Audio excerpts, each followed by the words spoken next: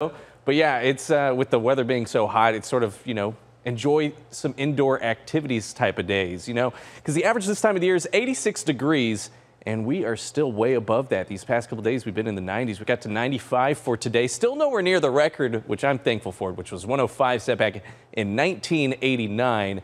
And so let's talk about those temperatures right now. So it's still a little bit warm out there, 94 degrees. Remember, just try to find the stay, stay in the shade, drink plenty of water. The wind speeds, though, will make things feel a little bit cooler out there coming from the west at 9 miles an hour.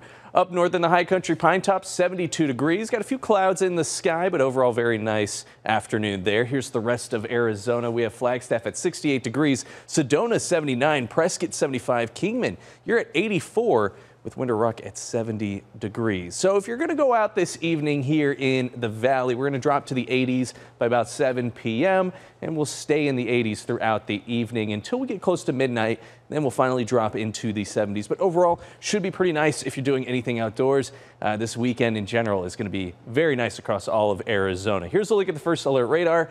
Just some very spotty, very, very light showers up in the mountain areas. Nothing too heavy, nothing too widespread.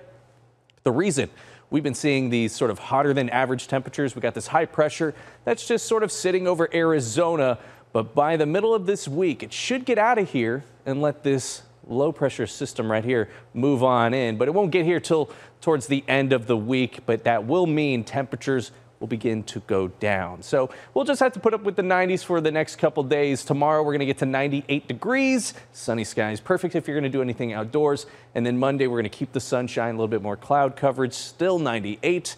But as I mentioned, that high pressure gets out of here, lets that low pressure get in, and you're going to see those temperatures begin to drop. And by Thursday, we should be in the mid 80s, sunny skies, and we'll actually finish out the week in the low 80s. So quite a big drop in temperatures is in store for the valley. And that's a look at your first alert forecast.